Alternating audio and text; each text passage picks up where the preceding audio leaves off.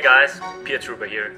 Hope you had an awesome break, and for the new Class 1 recruits, prepare yourself for an awesome journey into the animation world. Now's the time to bring out your energy drinks. You're gonna need them. Try to upload your assignment as early in the week as possible. By doing that, you give your fellow classmates the chance to help you out.